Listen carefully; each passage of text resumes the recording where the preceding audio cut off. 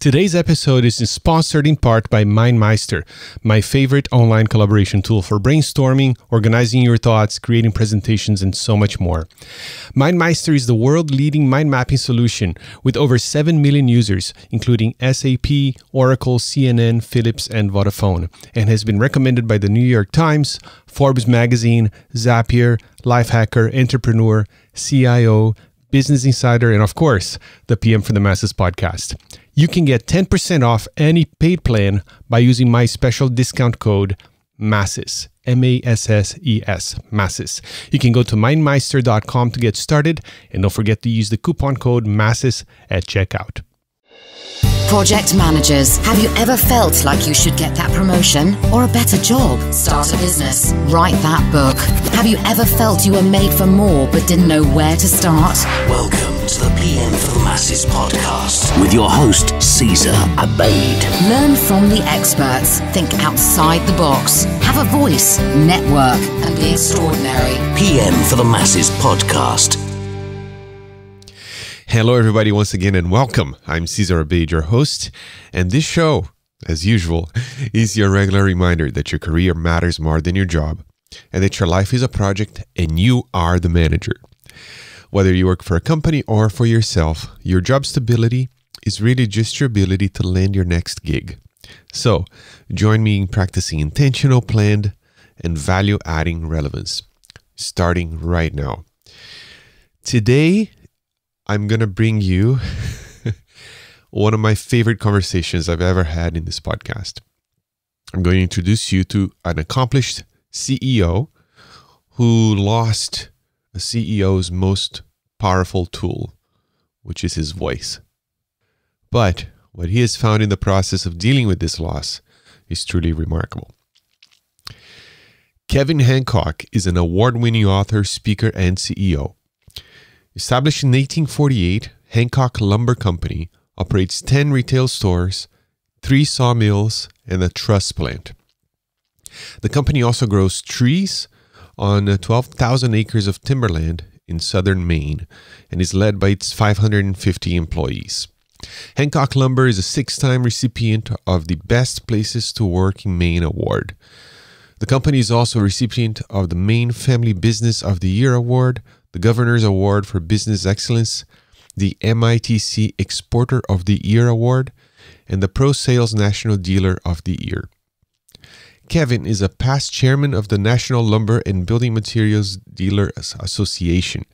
He's also recipient of the Ed Muskie Access to Justice Award, the Habitat for Humanity Spirit of Humanity Award, the Boy Scouts of America Distinguished Citizen Award, and Timber Processing Magazine's Man of the Year Award.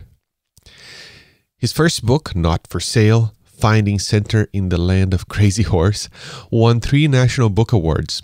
His second book, The Seventh Power, One CEO's Journey into the Business of Shared Leadership, uh, was released in February 25th of this year, 2020, and uh, I just finished it. It's a fantastic book. Kevin is a frequent visitor to the Pine Ridge Indian Reservation in South Dakota, which features prominently in his book, and an advocate of strengthening the voices of all individuals within a company or a community through listening, empowering, and shared leadership.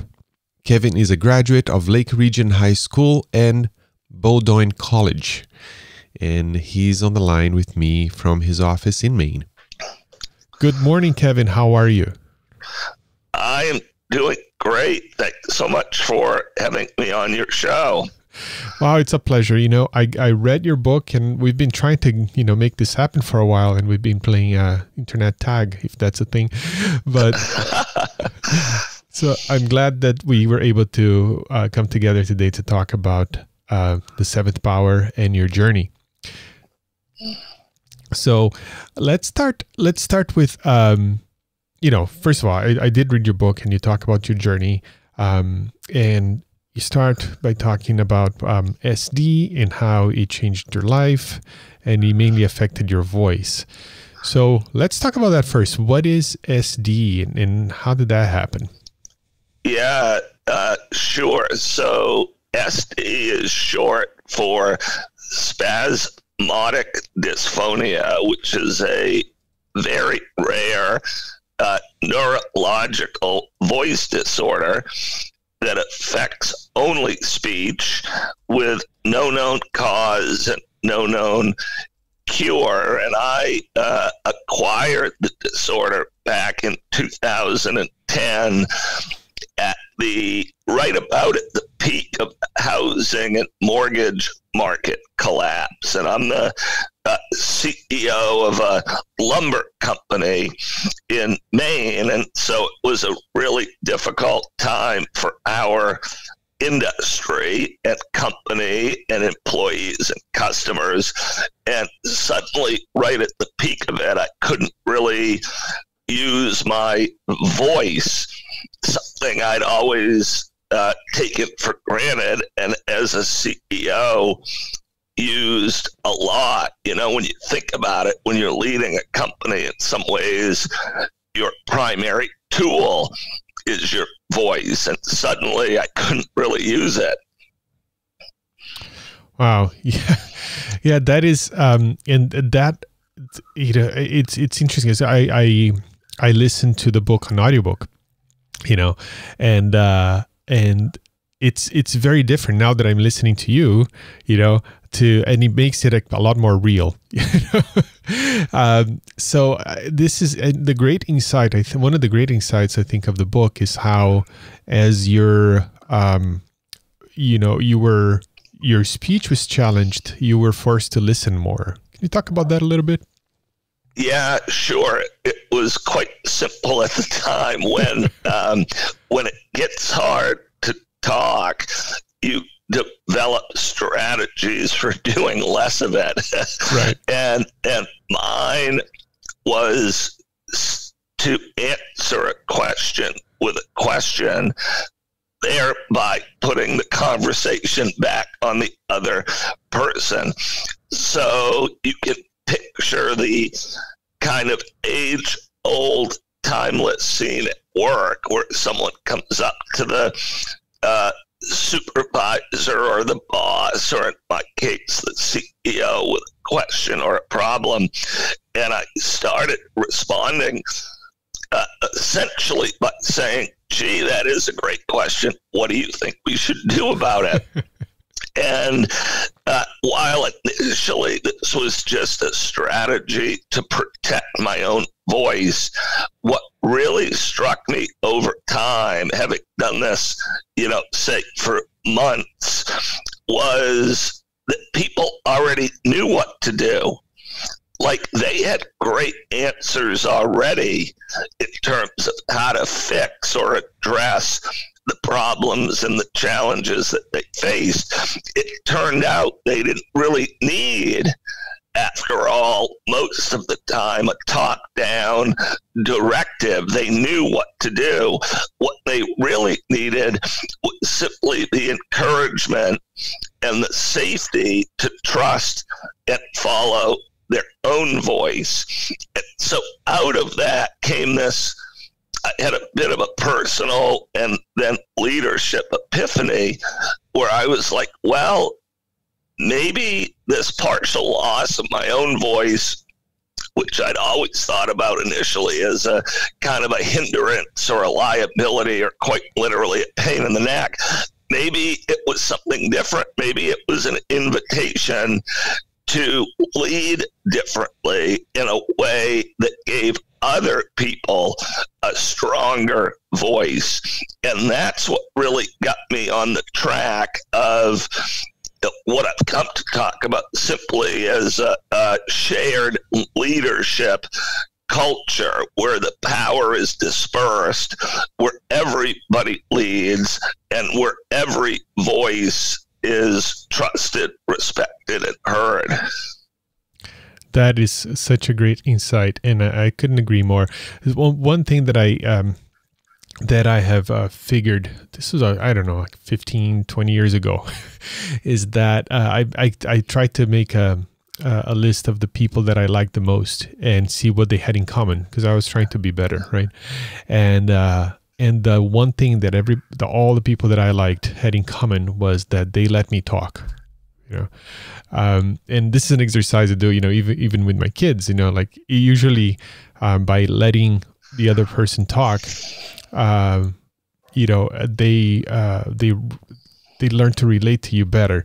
And and today, you know, I, I still think that that's the case, and and I'm guilty. I mean, I have a podcast. Of course, I like love to talk, um, but. Uh, learning to i mean in your case you had we had a little choice there but you know maybe that was the trigger for you. But um, for anybody listening you know, um, you can learn just so much more by listening to people rather than talking. And i think you talk oh. you talk about that in the book as well. Yeah. Oh, i love that point. I i wrote that down when you said it. That's so interesting that that all these people had that in common. They really honored your voice. I think that's lovely. And it makes me think about what really kind of became the next big step in, in our approach to give everybody a voice, which is really to think about why and how we listen. And I talk about this in the in the book, but I would summarize it simply this way listening is for understanding, not judgment. Mm-hmm. So it's one thing to listen, but it's really important to think about why you're listening. Earlier in my career, when I was younger, before my voice condition, in upon reflection, I think I really often listened to judge what I was hearing and see if I liked it or I didn't. But now the real focus I have for our company and all the work I do is that listening is simply for understanding. And it's really that whole notion of getting beyond right and wrong and just meeting people where they are and making it safe for everybody to just honor their own voice and place. When I think about it today, I, I, think about it this way our company has 550 employees, people who work at the company, and there is no single truth about the company. The company is a manifestation of what all 550 of them think. And the greatest gift you can give an organization, I think, is uh, to make it safe for people to actually say what they think. So let me take a minute to talk about my favorite remote collaborating tool. It's called MindMeister and it's a mind mapping application. MindMeister is a completely web based mind mapping software that runs in any standard web browser. So the mind maps you create are saved automatically in the cloud online and can be accessed from anywhere. If you don't know what a mind map is, think of it as a free flowing visual outline tool that can be used for anything you want. So I've been using MindMeister for 10 years now. It is my, by far my favorite tool for organizing my thoughts, for sharing my thoughts with uh, with my team, and also for collaborating with other people. So, for example, it is a perfect tool for you to create a WBS, a work breakdown structure. It's beautifully laid out, it's all online, and it's a wonderful company. So, aside from the web app, MindMeister also offers native mobile apps for iPhone, iPad, even Apple Watch, and Android devices, which means that you can access, edit, and present your maps no matter where you are. MindMeister was made as intuitive and as fast as possible to ensure that you can fully concentrate on the creative task at hand. So there's no clutter, no friction, just your team and your ideas. And speaking of teams, unlike traditional mind mapping tools, MindMeister lets you brainstorm in real time with an unlimited number of users.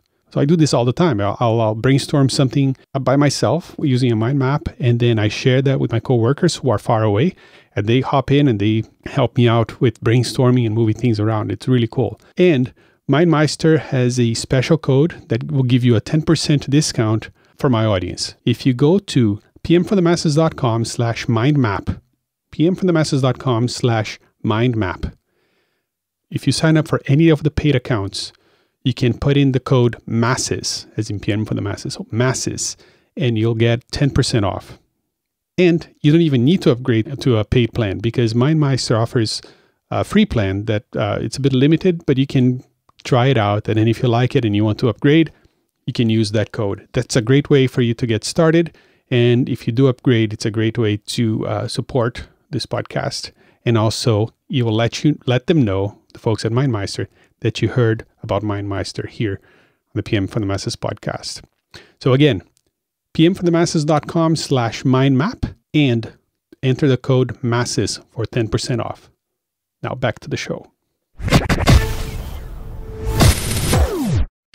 Um, just uh, you know, a few episodes back, I talked about biomimicry, and uh, that is like you know looking to nature for models. And uh, in your book, you talked about you know you just mentioned that power is dispersed, and in nature, that's how power is executed is dispersed.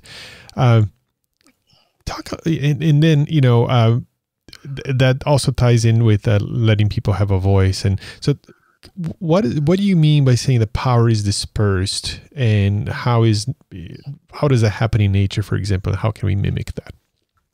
Yeah great question. I love that phrase biomimicry. I've written that down too. I'm learning a lot from you this morning. I love this. But i had a uh, experience that was really powerful a few years ago. I had been thinking a lot about a new leadership model that kind of flipped the script on the traditional approach of power to the center and instead dispersed power. And I was had been doing a little bit of work on the Navajo reservation in Arizona, actually, and was taking a walk in the desert at sunset when this epiphany or moment of clarity hit me.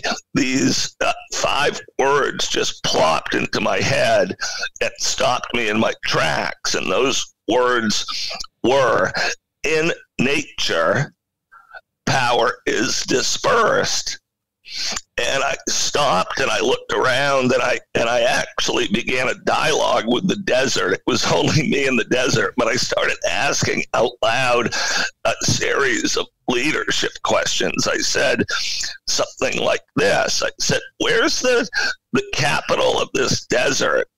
Where is its headquarters? Where are the managers and the supervisors?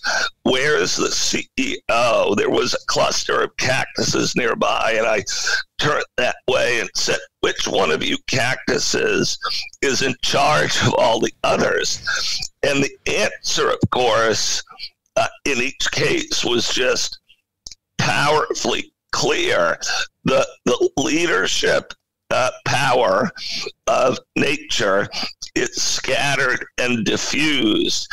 It lives in all of nature's parts and pieces, big and small. And here's the, the connection or the link back to what we're talking about. Humans who are part of nature, not detached from it, ultimately aspire to organize in this same way that the long arc of humanity is headed towards a dispersed leadership model where every individual's sacred voice is really honored and where leadership is um, shared. But that's quite a quite a, a transition that we're going to need to make from the traditional past based model of power to the center and leadership by a few. Mm-hmm. Yeah, that was that was a, a, really good insight, and I, I love the the the the image of you talking to the cactus. That's that's great. Um, an, another thing that really stuck with me when I read your book was um, you you say that um, a lot of folks believe that the best companies out there they are the best companies because they have the best people, and this is something I believed until I read your book as well. Um, yeah, I happen to work at a great company, and I, you know, as soon as I joined it, I said, "Oh my goodness, I'm this is this is a great bunch of people. You know, they're, they're really um, amazing, and you even feel a little um, out of place. You know, so I need to I need to you know grow a little bit to actually be at the same level as them. and and you say that you know uh, that's not the case. That, I mean, it is the case that companies have good people, but not it's not what makes them uh, the best companies, right? Yeah, that's a really interesting subject, and I um, made the same kind of leap in thinking that you're talking about. We used to have T-shirts at our company that said, "Our people make the difference." You've probably seen that slogan at other places through the years, and as much as I hope you can tell I love and honor people. I don't actually think that uh, slogan is quite true anymore. I've come to believe that great people are actually everywhere. That the planet is filled with great people. And it's really the culture or the platform that they're uh, living in or working in that makes the difference, that either allows them to thrive or makes it difficult to do so. And I used to teach uh, history, and I got thinking about history in this question, and I really think that history uh, plays this out. So I so think, for example, about say Germany after World War II which was arbitrarily divided into two countries, a West Germany and an East Germany. And of course, West Germany was democratic and free and innovative, and it went on to really help propel the entire planet forward in the decades after the war. And East Germany, conversely, focused on the kind of the Soviet approach to leadership, very, very centralized, one monolithic voice, kind of hung on under. Uh, barbed wire and attack dogs and machine gun turrets until it collapsed under its own weight. But would anybody really think that um, that all the say the best Germans happen to be on the west side of that arbitrary line and the, I don't even know how you'd say it. The less best Germans happened to be in the East. Of course not. Germany was filled with great people on both sides of that line. It was the leadership culture that made the difference. We see this today in North and South Korea. I believe the South Korean economy is something like 40 times larger than the North Korean economy. But certainly that's not because randomly all the best Koreans ended up south of the line. Again, it's the culture. Culture makes the difference. And to me, simply put, a leadership culture either collects power or it disperses it. Amazing. Yeah. That is a great insight. I, I remember seeing a picture once. Uh, uh, it's a satellite image of um, of the Korean Peninsula at night, and uh, and you can totally see where the border is just by the just by the lights from the cities because South Korea is just like this looks like a Christmas tree, you know. Um, and then in North Korea is total darkness, and it's like, and it's the same people. I mean, it, it they're the same you're you're so right. Just like the Germans, right? Are the same and people. What a I love that image. What a great visual image, right? One side of that line, there's light, yeah. and the other side of that line, there's darkness. Right. Yes, that's a that's a good way of putting it. You're you're good at this, Kevin. well, you are too. So it's really uh, it's so fun to be with you. Awesome. Uh, yeah. So, um, on that note, um, you mentioned in the book that work can be an incubator of societal change, and this is something I've, I've thought a lot about because you know you don't see a whole lot of countries experimenting with culture changes, right? I mean, they they have a job to do, which is you know keep the lights on and the enemies out, or whatever their countries are doing. Um, while companies they're much more nimble and they're you know being born every day, and it's a lot easier to experiment. So how can we, you know, let, let's say you work for a company that has a good culture. Um, how can that uh, escape the borders of the company and start permeating um, your local community, for example? Yeah, what an important question. There's so much there. I, I start by really thinking about what should the purpose and mission of work be in the 21st century, you know, its highest calling. And I think, simply put, it should be to advance humanity. How do you advance humanity? I think at the end of the day, you do it one person at a time. So for me, that means a company should really focus on the well being, not just economic, but I'm talking spiritual, emotional sense of purpose and meaning of the people who work there. I talk about this as creating an employee centric company where the first focus is the experience of the people who work there. And if the company provides a meaningful experience for the employees, pretty much everything else, including customer care and corporate performance, will take care of itself. Now, at a high level, that gets me thinking about how you how we create change.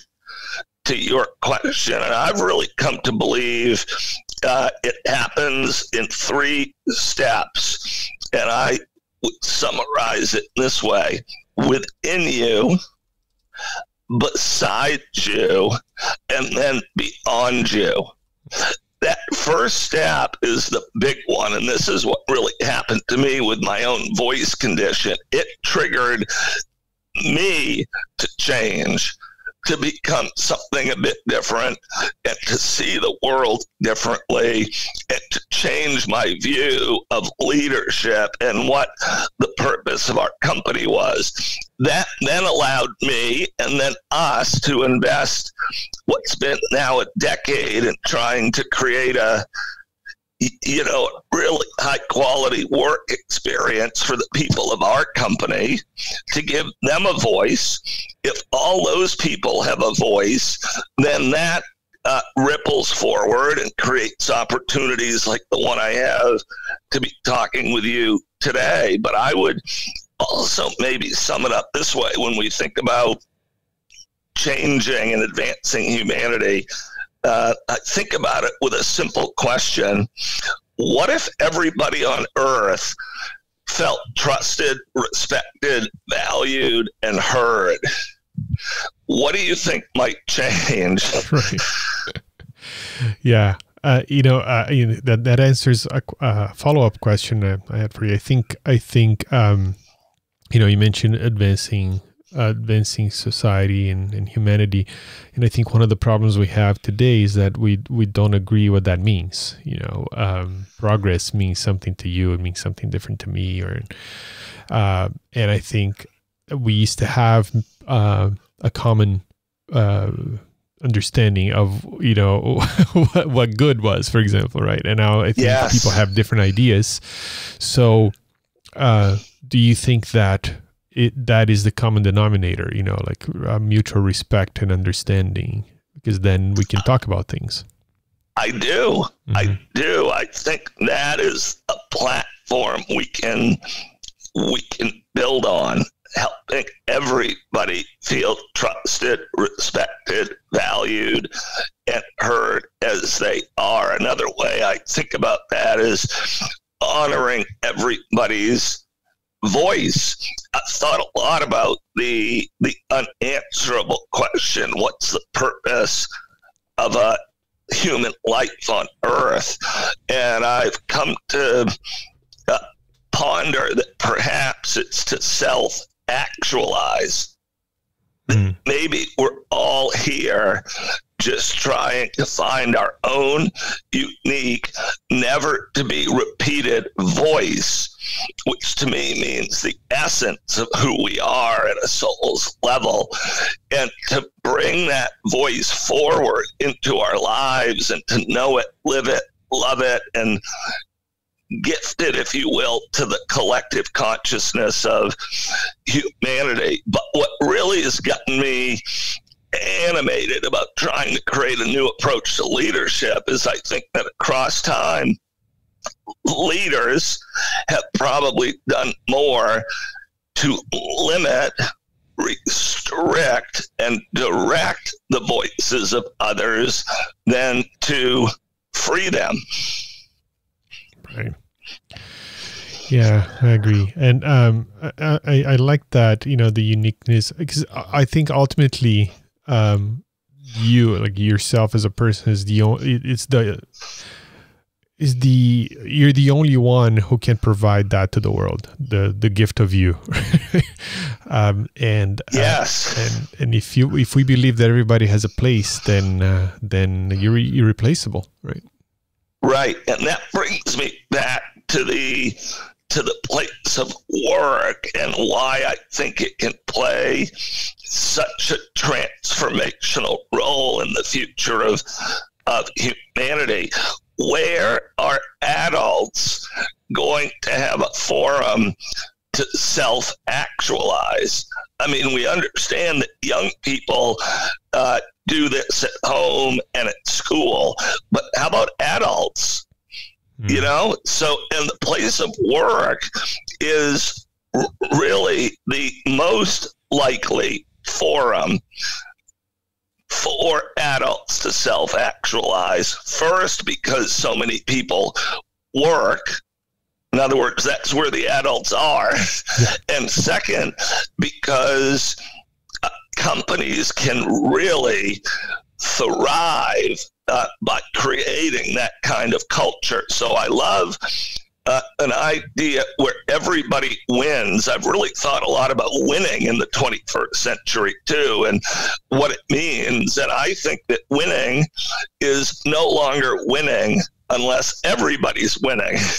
so you need strategies that benefit everybody and honoring an individual's voice is great for every individual within a company, but then it also positions the company to just soar in ways that it uh, that otherwise could not be possible. I agree. You know, one of my favorite things uh, is when um, somebody on my team, you know, when, when talking to them in one-on-ones, um, will tell me what their dreams are you know what like what they really would like to be doing in five years because that you know that's amazing to me because now i can sit down and say all right let's let's plan this you know? And sometimes it means uh, them having to leave the company eventually you know? And and i think it's worth it right?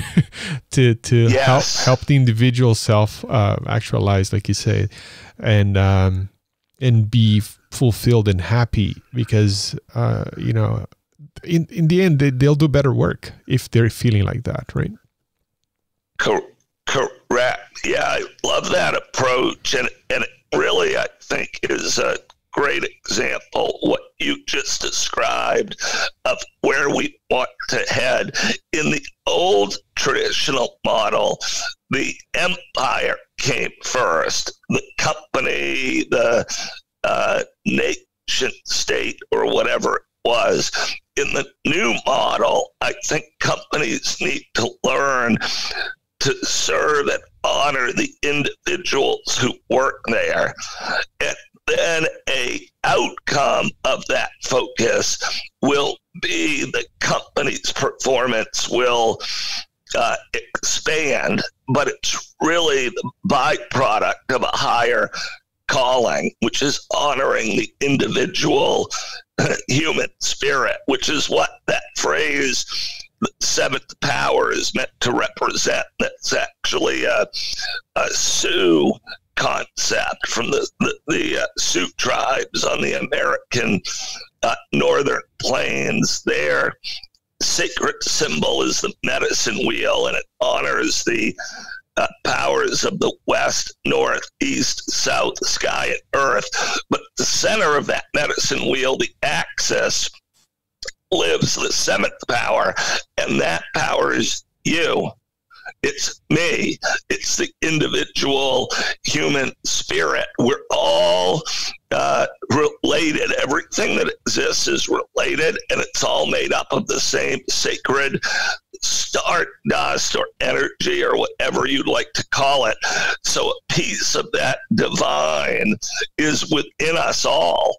And this this conversation we're having is really about releasing the power of the individual human spirit. That is that's great because I was going to ask you about the seventh power, so that's that's fantastic. And uh, you know, I when I was reading your book, I I you know, we got to that part, and I because I I'm come from a faith background, you know, I'm Catholic, and uh, so I at first I was like, huh, me and you know the you know the individual, and but I think that fits as well, like with I think and then I started to think about other faith uh, traditions and non no faith at all. You know, I, I think it fits with all those because even even in Christianity, for example, right, we we are taught that we were made in the image of God, so the divine is within us in some aspect, right? Yeah. Yes. So there is a lot of truth in that in that nugget of wisdom there from the from the Sioux and and um, and that is the seventh power. It's amazing. So, uh, Kevin, um, let's see. Let's say there's a there's a project manager or a team manager listening right now that's dealing with, uh, you know, but let's say they're not happy with the company culture or their team culture.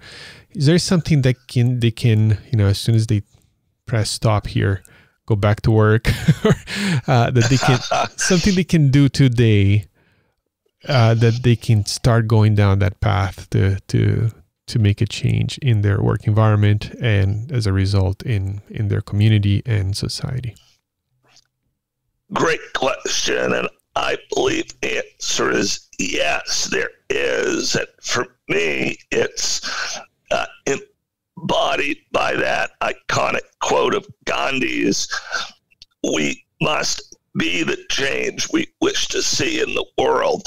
My favorite simple exercise is to think about a way in which you'd like to see your company, its culture, or your work team be different.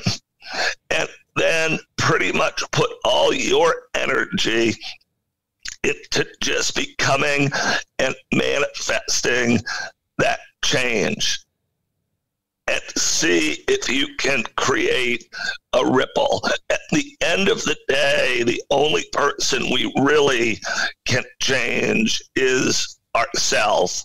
So it really becomes a, a, a quest of looking inward, of manifesting what you want to see, and then watching it uh, mimic itself in the world around you. That's great. Kevin, this was fantastic. So, uh, for folks want, who want to learn more about you, about your company, about your book, where should they go? Well, I'd love to hear uh, from anybody who listened to this talk and um, had thoughts come from it. And you can reach me through my website, which is simply Kevin D. Com. There are lots of resources there. You can access my books there, and you can access me there. Perfect. And I'll have links to to your website and to your book as well as um, as you know some of the, the things we talked about here on the, the show notes for today's episode at pmforthemasses.com slash 134 for episode 134. Again, pmforthemasses.com slash 134. Kevin, what a pleasure, what a delight it has been to talk to you. Thank you so much for making the time today. Thank you. It's really my pleasure to be with you. I enjoyed it greatly.